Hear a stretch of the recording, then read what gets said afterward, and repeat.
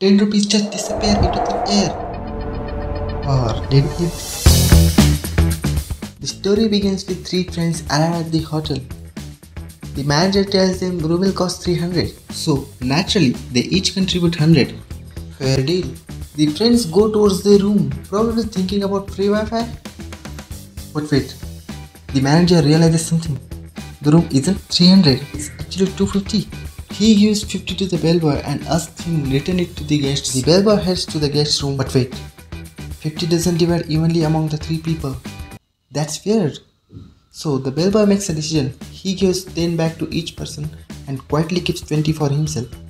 A harmless shortcut or the beginning of the mathematical mystery. Which means they pay 90 each and the bellboy's 20 equals to 290. But wait, they originally paid 300. So where is the missing 10?